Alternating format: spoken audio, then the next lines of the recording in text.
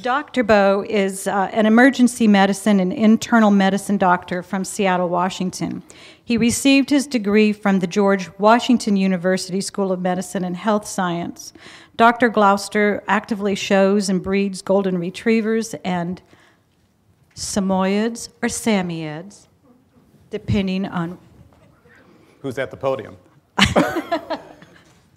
He has served in various task forces, including the American Veterinary Medical Association Task Force on Canine Aggression, and he also serves on the Grants Committee for the uh, Canine Health Foundation. Please give him a very warm welcome, and thank you.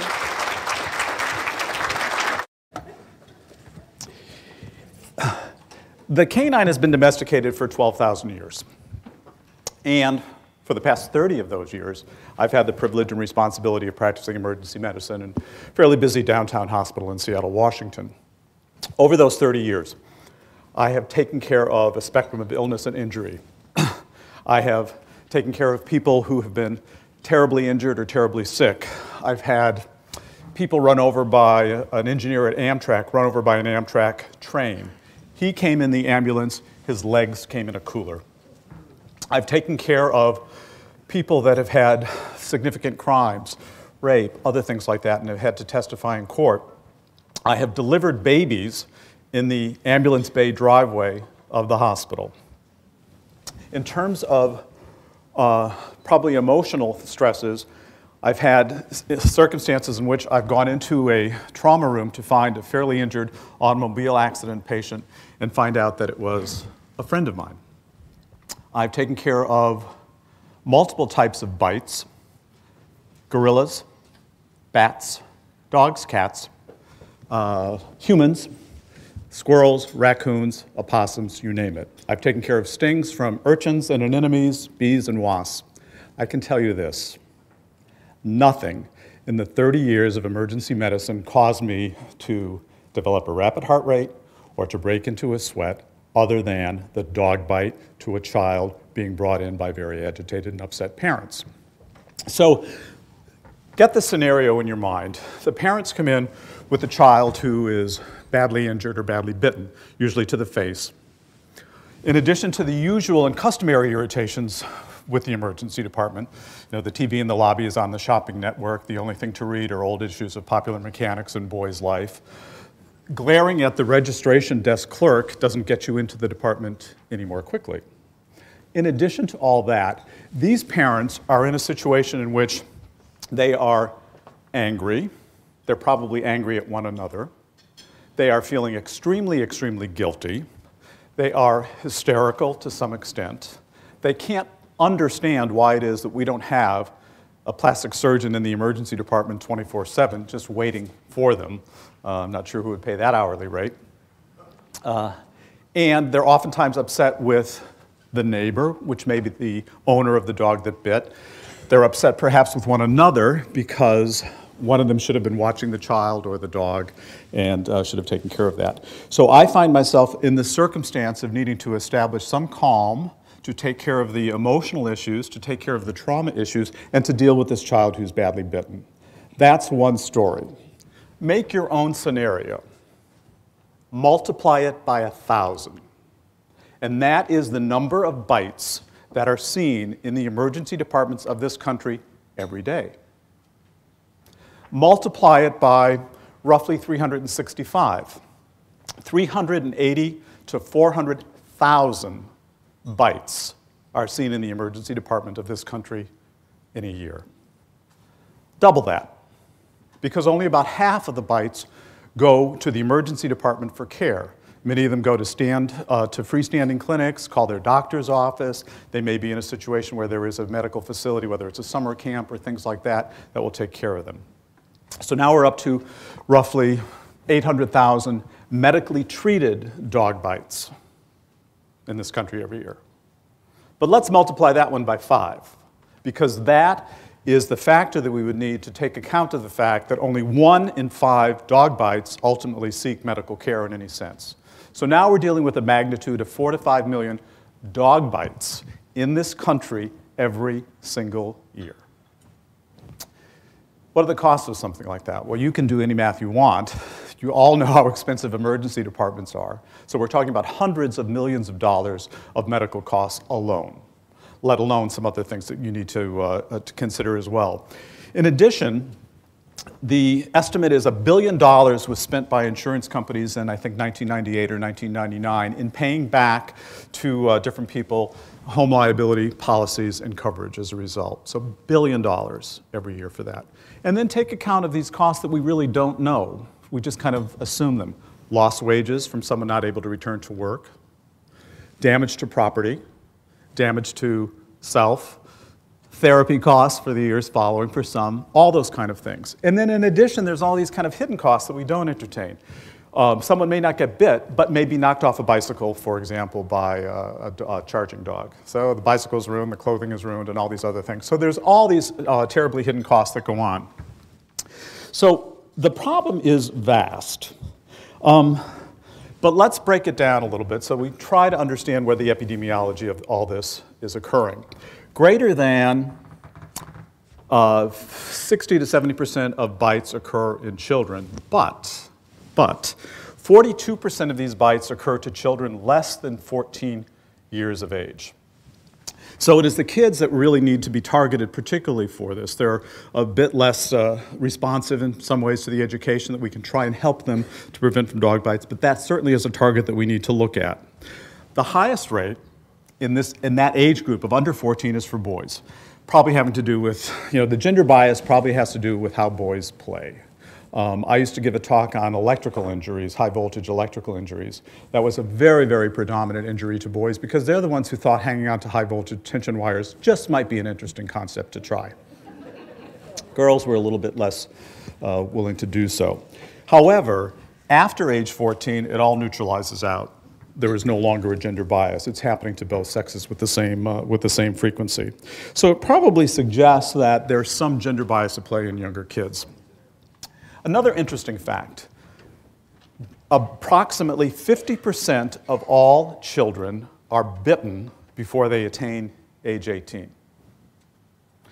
So, if the problem is that vast and that huge, it also begs the question why isn't there more reluctance and fear in children particularly, around animals? Well, I would contend this kids think of getting a dog bite much like they do falling off a bicycle. It's just something that happens. So, unless it happens in a very critical way, a critical formative time, a very severe bite perhaps, most kids just let it go. It's the parents who typically tend to be a bit more um, upset by that. Uh, the peak is in the summer months um, as would make sense. Kids are out more, dogs are probably out more. Um, so the peak occurs from April, September, but particularly the summer months are very, very significant. Um, the severity of bites is much worse in the zero to four year old, you know, the real infant, uh, and up to four years of age. And then lesser so, and then once again, very severe in people over age 70. So at both, at both ends of the spectrum of aging, the severity of bites is uh, determined. Um, and the diagnoses that you see, and I've seen them all, I assure you, um, can be very, very simple. They can be as simple as a puncture wound. They can be very severe lacerations. Uh, they oftentimes um, just don't even break the skin, so what we call a contusion or abrasion or hematoma. Um, and so there is a, a tremendous spectrum of that. In children, in children, the predominance of bite occurs to the head and neck, which perhaps accounts, I believe, for why these bites are more severe or serious. In adults, they typically occur in greater fashion, 70 to 80 percent, to the extremities, typically the hand, wrist, or arm. Um, and I think all of you have seen situations, or at least would intuitively understand why that would occur. Um, in terms of who's doing the biting, 30 percent, 40 percent occur um, from uh, the household dog. About 40% more to 50% more occur from the neighbor dog, or uh, if you will, a known dog. So, this emphasis or attention that's given to the wandering dog that's biting, or these dogs that are just going out at random biting, is incorrect.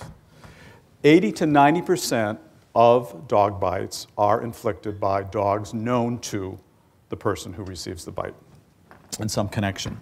Um, why are they biting? Well, we all have our theories on that, and I think we all know that. We certainly look at what we call excused or justifiable bites, and we look at others. It may be fear, may, and that could be fear biting, or it may be just really a, a perceived threat by the animal. Um, protection of territory, obviously, is a very, very common reason for that to occur. Um, the dog may be injured and I, or sick, and I would include in that the broad spectrum of injured animals. Anyone, any dog that's hurt, any dog that's sick, any dog that's aging should be thought of in a sense of being ill in the sense that the dog may be uncomfortable, slow moving, has, hasn't the ability to get out of the situation. So that fits into that spectrum as well. And of course, things like uh, protection of the puppies and different things that I think we all look at as, as causing that. The risk factors. What are the risk factors for a dog to bite? Well, first of all, I think I've implied the significant risk factor is you're a child.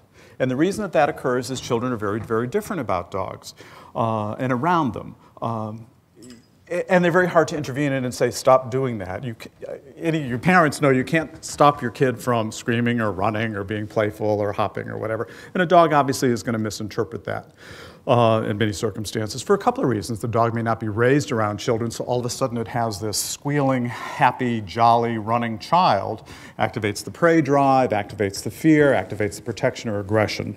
So that happens. Males, I've said, um, are bitten with a great more uh, frequency. Households with dogs. That sounds a little redundant. What I mean by that is if a person comes from a household with a dog, he or she is more likely to be bit by another dog because they are familiar with animals, they're friendly with animals, they're comfortable around them. Whereas if someone comes from a household that doesn't have a dog, they are a bit more reserved perhaps and are not as likely to go up to a strange dog and try and make friends and try and pet it, become friendly with it. So that's another factor that needs to be considered. Uh, uh, home location in is meaning by that that the dog is more likely to bite if it's in its home as opposed to on neutral territory, which gets back to what we were just saying about protection of territory as well. Um, and a leash dog is perhaps a risk in the sense that a leash dog can't get away from the situation. Now, I will make one point here that I'll be making in, in a short bit as well that I want to, I want to reiterate, and that is that there has been, in the reports of many fatalities, about 400 dog fatalities now, not bites. We're talking about the spectrum of dog caused deaths. There's only been one that I think has been reported that is caused by a restrained dog off its territory. Important concept because it gets to the, if you will, the very fabric of leash laws, why they're important, um, and the fact that dogs that are tarnished, or that are, are tethered, are, are in a sense in a protective mechanism or in a control mechanism. So that's very, very important um, in terms of what I'll get into. So, but a leash dog, in terms of not fatalities, but just biting now, is also a risk for that because they're the ones that, that uh, uh, can't get away. 97 to 90, give me a second, 97 to 98% of bites are uh, inflicted on family members or guests on their property. So there isn't this marauding group of dog packs out there that are doing the bulk of uh, all this damage. Um, let me talk about just a couple of things that have happened recently and, if you will, locally, and perhaps even more nationally that people are aware of so you can get a sense of it. It gets to how it is that we protect people from dog bites. I've mentioned, for example, the elderly, the people that are at great risk for dog bites. And it's, it's clear why they are, because they can't get away. They don't have the physical skill. Oftentimes, they don't have the reflexes. They don't have the speed. Many of you are perhaps familiar with a woman who was, I believe, in Bremerton who went to work. Her mother, mother was visiting. Mother went out into the yard with, I believe it was a family of bull mastiffs, but it was a couple of bull mastiff or bull mastiff types, and she was killed. Daughter came home to find her uh, critically, lethally injured, uh, and ultimately she died. Um, there was um, a child, and I think this was in Federal Way, and again, this has been ascribed to a bull mastiff mix, but the breeds aren't important, as I'm sure others will talk about in a short bit. Um, and these were, parents had gone, this young child was in the care of its adolescent brother and friends. And They were tired of the kid. We all get tired of eight year olds occasionally. So they sent this kid out into the yard with the dogs that were loose. He was killed. Um, you're all um, aware of the recent event in Florida that got a lot of attention at a match or a show down in there. And before the truth of that could be established, it was out on the press in very hysterical terms about a woman whose foot had been chewed off by an Akita uh, at a match. Um, but having said all that, having said all that, there was a Yorkie that killed a child in Georgia. Just went up into the crib and killed the child. So let's talk about that for a second because these are the spectrums of age that we need to consider the young child and the older person. Part of the reason they die, by the way, is some of you may um, are old enough to remember William Holden, the television and movie actor, who died in his condo in uh, Hawaii when he passed out having been drinking and sustained a small laceration to his scalp and bled to death. And that's the reason that, uh, that these older people and younger kids have problems sustaining uh, viability with these bad bites to the head because they don't have the ability that we in this audience have for the most part too. We lose the elasticity of our vessels as we age, so these vessels don't retract. We keep bleeding, and ultimately we bleed to death. A child has tremendous vascular supply uh, in its scalp and skull. And so they bleed to death very easily. Their skull, their skull rather, is very penetrable as well, but they bleed to death very easily from that. So that's uh, what happens.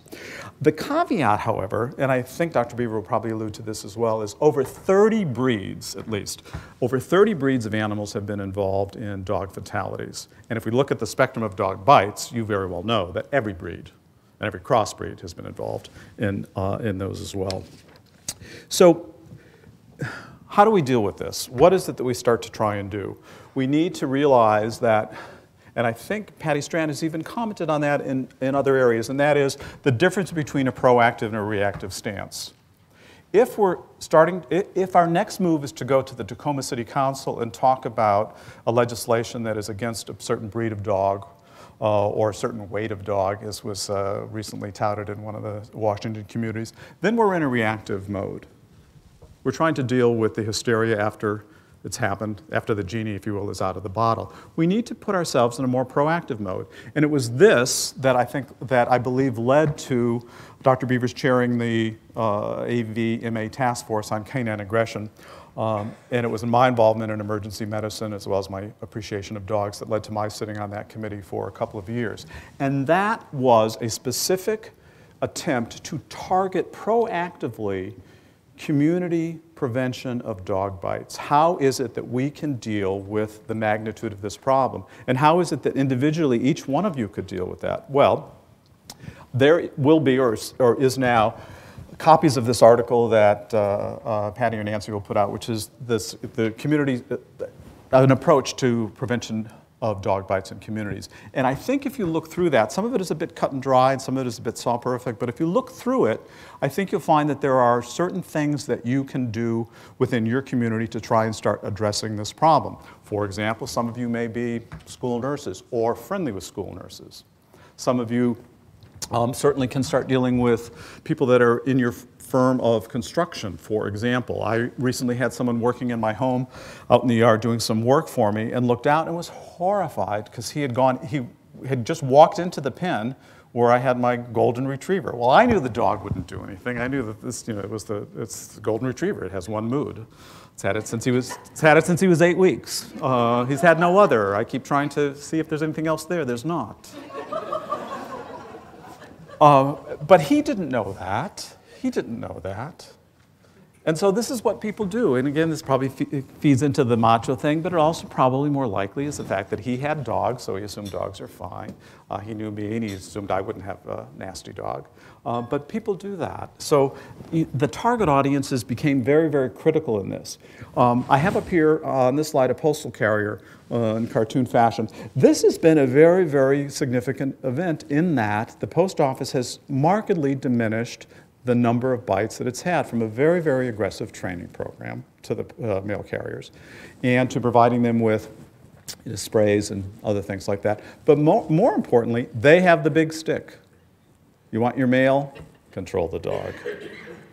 And so we need to find mechanisms that work to try and make people know that they need to be responsible for these issues or there are consequences to them for it. And it, and it can't be something vague like insurance premiums are going up or you know, medical care costs are going up. It needs to be much more specific than that. Let me harken back to that child coming into the emergency department because this becomes a lifelong quest and a lifelong commitment, I think, for all of us. That eight-year-old girl that comes in with the bite that I alluded to in the beginning of my talk, by the time Those parents have been in the emergency department for several hours. They have already catapulted to her wedding. They are already thinking, what's going to be the nature of this? She's going to be so scarred walking down the aisle, stuff like that. This problem is vast.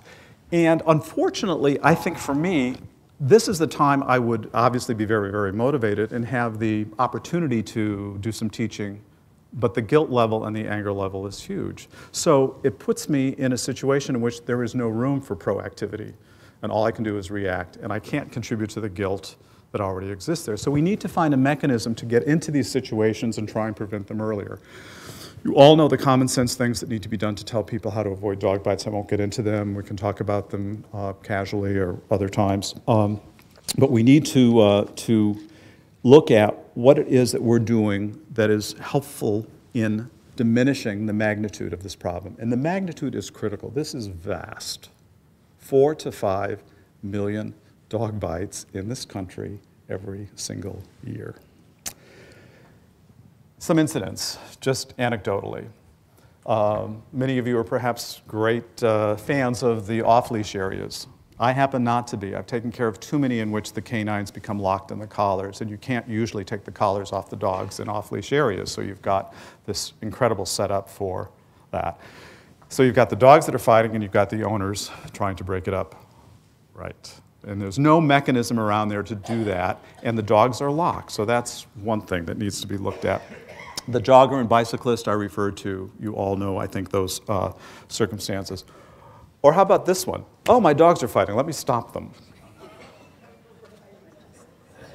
I have a goddaughter. She's uh, really a very, very great person uh, uh, and has been one of these kind of animal lovers for all her life um, now has dogs, and I work with her. We have a vacation home with her parents, so we would work with her.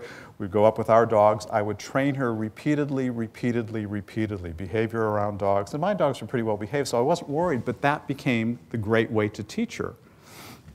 So I think, unfortunately, the lesson became lost and the familiarity grew because she decided to go to her neighbor's home, and her friend was holding the corgi in her arms. So she decided she would go up and snuggle the corgi. Bad idea. Bad idea. Um, dog show bites. Jane Anderson, former dog judge, perhaps future dog judge as well, goes down to examine a, a male dog. And the dog is thinking, You want to see if I have two what? so there are circumstances that keep occurring all the time.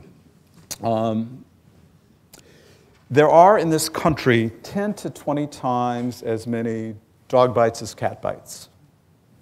10 to 20 times as many dog bites as cat bites. But we win because you infect with about 20 times the rate that we infect. And the reason for that, by the way, is that dog bites tend to be shredding, macerating, lacerating kind of bites.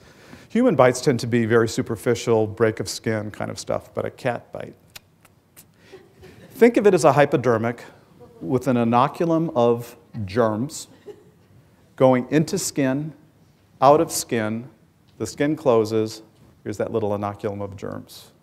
So you infect with much greater frequency, about 17%, uh, whereas we're down to about 1% or so.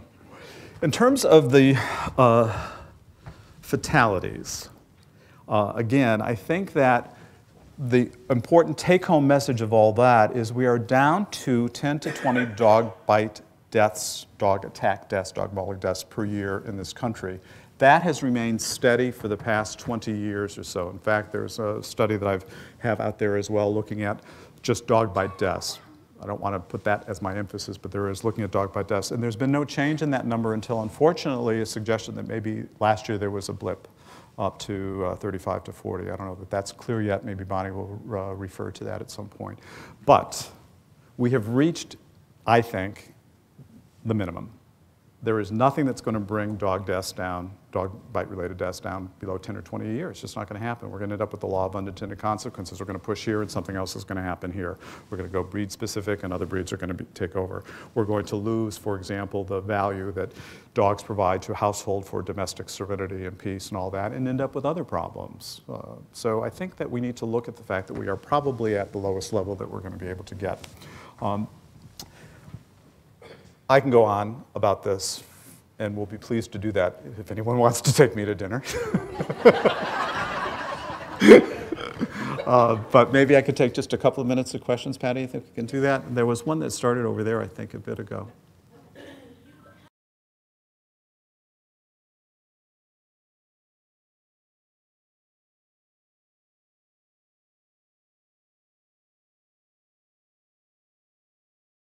Looking at these 400 dog deaths, the predominant dog deaths were, were from unrestrained dogs.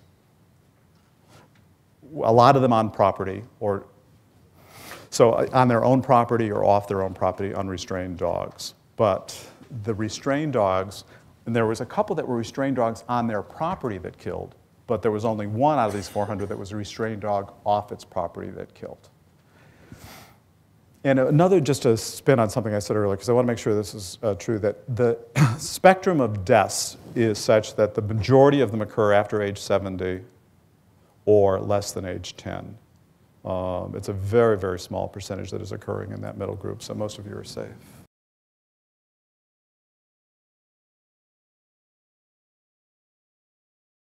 First thing, first thing first, the AVMA task force concluded and has stated repeatedly that breed-specific legislation is ineffectual and has no value, and that that is not going to work. So you reduce it, if you will, to the bumper sticker, you know, punish the, the deed, not the breed.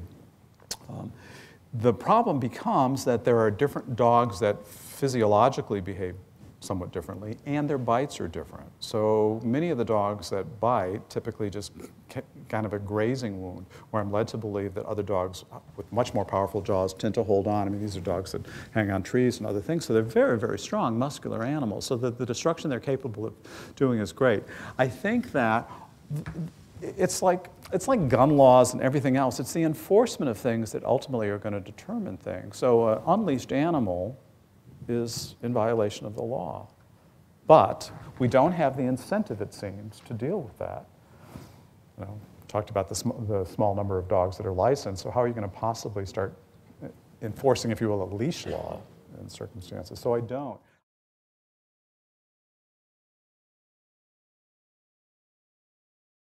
There's five factors at play, I believe, five factors at play that determine whether a dog, how a dog is going to react and whether a dog is going to bite. So there is heredity, there is early social, socialization, there is training and later socialization, if you will, there's health, injury, and all of that, and victim behavior, which is probably the only one that we can affect on a daily basis, routinely in every place of work, pleasure, or business, schools, everywhere. So it's that fifth factor, I think, that we need to be targeting a tremendous number, while the dog fanciers uh, look at the other four.